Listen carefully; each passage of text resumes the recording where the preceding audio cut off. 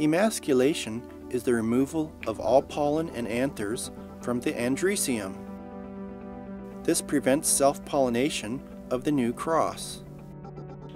Now would be a good time to tag the flower. A successful cross can only be repeated if we know exactly which parent donated the pollen and which parent formed the ovary. This information will also be needed if we want to register our new hybrid. So each cross will be labeled with the names of the two parent varieties, including which plant was the male, that is the pollen donator, abbreviated here with an M, and which was the female variety, or pollen recipient, noted here with an F. Only one unique pollen donor should be selected for each individual flower. The daylily flower stalk, called a scape, will hold many flowers blooming in sequence.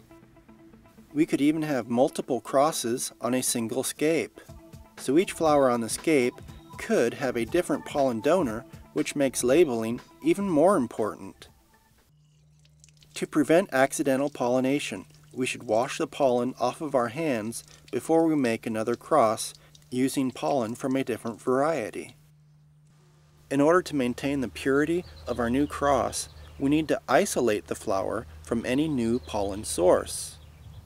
No other pollen should contact the stigma before, during, or after we've hand pollinated our target flower. It's complicated trying to control all the possible sources of pollen.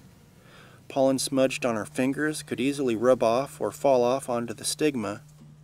Airborne pollen could be blown onto the flower, and of course pollen can also be carried on the bodies of insects.